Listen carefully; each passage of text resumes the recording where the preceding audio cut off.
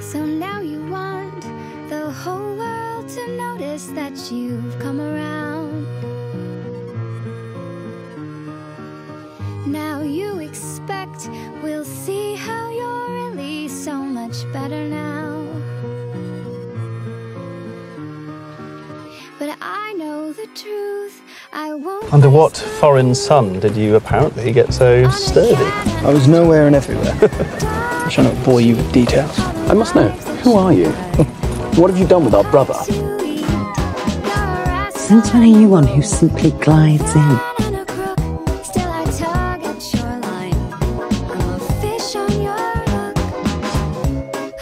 Do you find yourself back in town for any particular reason, in search of something or someone? If you're asking if I came back to take a wife this season, I'm afraid the answer may disappoint. Although, there is one thing I learned on my travels, it is forever to expect the unexpected.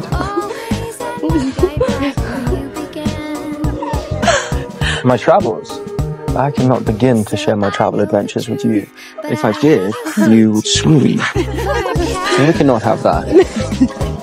How is it possible that your dance cards for the season are not yet full of suitors? you are flowers in bloom, each one of you. My stories from abroad are not suitable for such tender young ladies.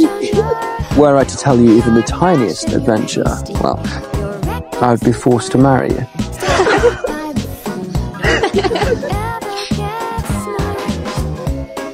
Such an array of beautiful ladies. Men will be fighting over you. I cannot compete.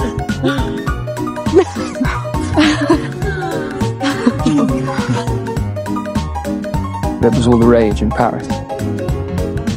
You look distinguished, but then again, you always have. Well, when all is said and done, it's merely clothing.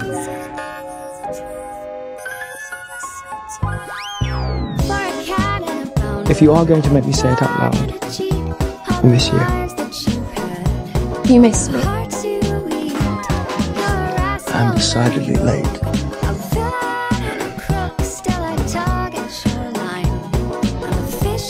Has been wonderful, ladies. Good night, Mr. Bridgerton.